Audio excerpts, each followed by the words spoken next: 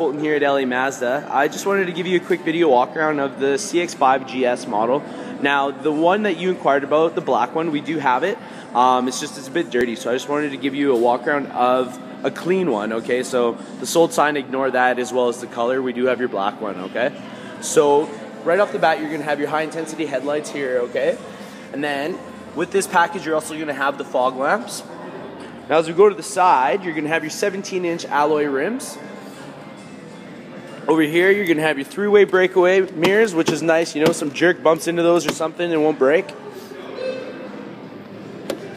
Oh, hang on, I gotta unlock the car here. That might help me. Okay, so on the inside, you're gonna have your Bluetooth controls in the steering wheel. You're gonna have your cruise control. You're gonna have your dash here, which lights up. It's gonna show you how many kilometers still empty, average liters per 100 kilometers, everything, which is really cool. You're also gonna have your touch screen here. It's gonna have your Bluetooth controls, everything like that.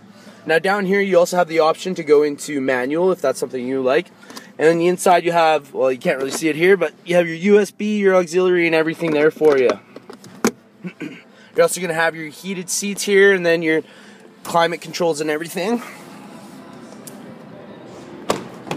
Now as we go to the back, you're gonna see there is a lot of space back here. Um, I'm about six feet tall and I can fit in the back perfectly fine with the driver in the front. So space is not an issue with these vehicles.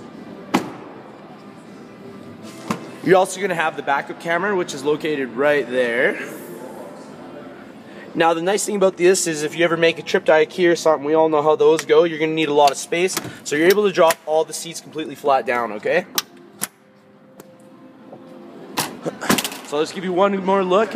Now again, remember your vehicle is going to be black, not red, but I just wanted you to see exactly what was going to be coming with this. There you go, Al. Hope this helps. Thank you.